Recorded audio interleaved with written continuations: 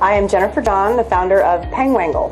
Pangwangle is an outdoor apparel brand. We create versatile sun protective clothing with built-in bug repellent. So it's meant to take you from the bayou to brunch. Five years ago, I was running my own production company, Fresh Media, making brand films and some documentary films. Um, and I really enjoy that. And I think that I had reached a point where I wanted to grow bigger. I wanted something bigger. And so I realized that I could make films about being outdoors, enjoying the outdoors, adventure travel, while at the same time meeting this need that I have for versatile sun protective clothing, I could do them both. We can make the content, we can make the video, we can tell the stories to drive the sales. We launched Pangwangle in December of 2017 with our Journey scarf. The color comes from the recycled item. Beer bottle brown, water bottle blue, food tray black, Rethink Pink is ketchup bottles and cotton.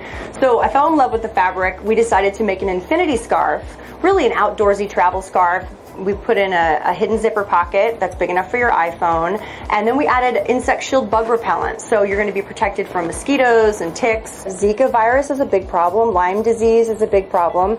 And I wondered how are people going to feel about uh, insect shield in their in their scarf. And I find when I go to arts markets and talk to people that they're really excited about the idea that maybe it was overdue. Our first sun protective shirt, we're calling it the Boho Classic. It's coming out in June of 2018. It's in production right now. It's a great, really soft, very light fabric that is moisture wicking, breathable, quick drying, chlorine resistant, um, and it has built-in UPF 50 sun protection. So it's going to block out 98% of the ultraviolet rays. And then we also added bug repellent to that. So we're going to add two more sun protective pieces this summer, and then in the fall we're going to start adding men's clothes. There's a lot of disruption in the apparel industry and the retail industry. I have not seen another company that's doing what I'm doing. Our first retail location we're very excited is Fina, which is a really great gift shop in Metairie.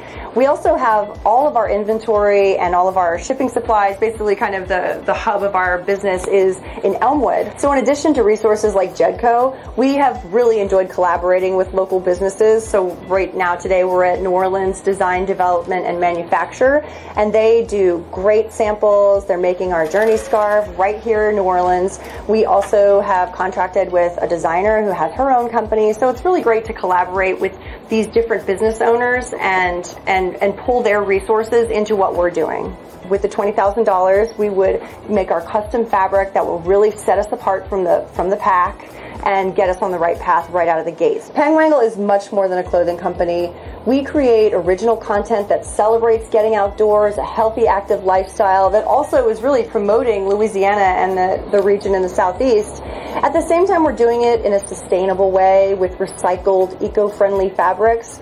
So I feel like it would be a good decision for Jedco and Jefferson Parish to support a business that's forward thinking and socially conscious like Pangwangle.